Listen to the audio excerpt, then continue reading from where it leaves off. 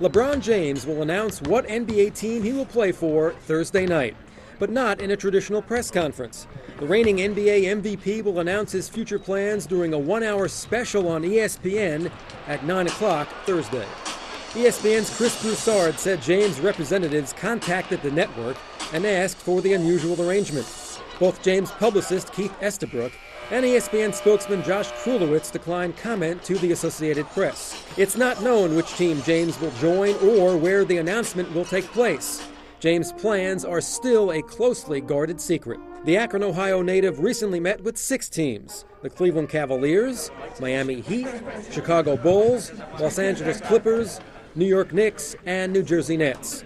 But the Cavs can give James a sweeter deal, a maximum length contract worth $30 million more than any other team.